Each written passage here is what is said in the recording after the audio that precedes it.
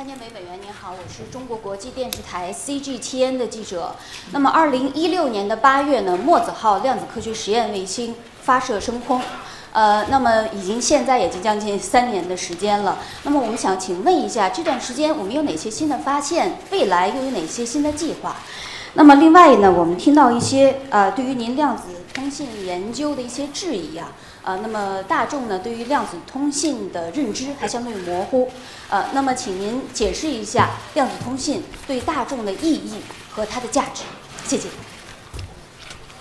I'm with CGT, CGTN. My question goes to Mr. Pan Jianwei. China's quantum science satellite Mozi was launched into the space in August 2016. Has this satellite helped make any discovery in the past nearly three years. What is your plan for the program going forward? And recently, we have heard some skeptical views about your research in quantum sciences. It seems that the public does not have enough knowledge or understanding about quantum communication. So Professor Pan, what would quantum communication mean for the ordinary people? 好，非常感谢呃你这个提问，呃墨子号呢？Thank you for your question. As a scientific satellite, Mozi has two roles. Number one, it has the application. So actually that can have the communication between the satellite and the ground. So that's the uh, I realize the quantum teleportation.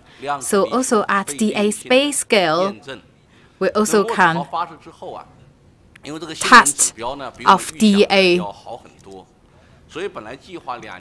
non-locality so actually, the results we planned for two years, we already achieved all of them just within two or three months. So in the past two or three years, we had more times to improve the functions of the quantum scientific satellite Mozi because it's an experimental satellite, so we not really want to do it for a commercial purpose.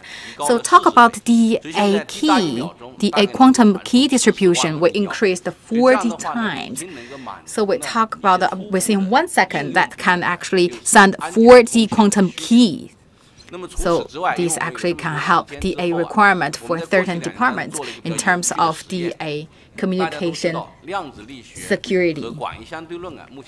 So as we know, the A from the A scientific area, the A knowledge is actually not really linked. So we have several models talk about how we can better coordinate different scientific aspects and could create the synergy. So we have the event formalism. This is a model, but right now this model from our experiment and also the data we collect that tells about the a whole model actually is not correct. That's a big improvement and outcome we got in the past two to three years. Another goal for us actually want to commercialize it. But actually that's not really need sunlight, so we only can conduct the experiment during nights. So what our next job is we would like to make the a quantum satellite can work 24 hours. So which means that the a it can produce the a quantum key around the clock to stabilize the communication channel. And talk about the public actually they're not fully understand about the quantum science. Actually this is quite different from our day-to-day -day life for the ordinary people i believe especially the people here presented here today we talk about higher education, but not really a lot of people actually understand quantum science. So for the public, when they think about the quantum science, they have two questions or quite confusing. Talk about why quantum mechanics it sounds really far from them. And also during the whole commercialization drive, they quite worry about whether this the quantum science is mature enough So think about our smartphones, think about the computers. Actually, that's an initial result of quantum science. Actually, that's been approved for the past more than 100 years, but we just didn't study more knowledge regarding the quantum science. That's quite a stop showstopper. So talk about from the R&D to the commercialization stage, there are actually three phases. Talk about this is like the a cameras. They think of whether that absorb my spirit into the camera because people not really know what it was. Same for the quantum science. So people think this is just for the a commercial purpose or for the advertisement. This is not real science. And people worried because without wise or widely application, people think like because your science is not mature enough. So we not really confident in ourselves because in the past we just either keeping the pace or just catching up with other countries. Right now, we're leading the pack, so people are not really confident.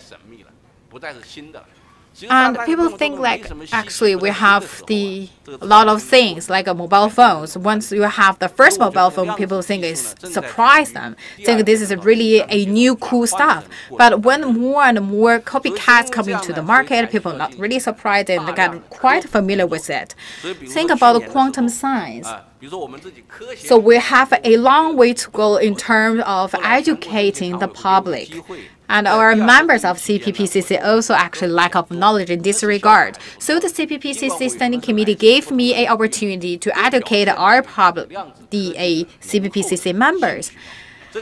It turns out that actually the result is quite encouraging because that the CPPCC member even asked me a really, really challenging question to me.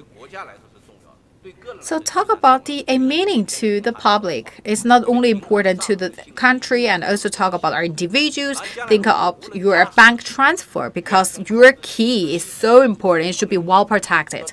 And we talk about the a automatic driving.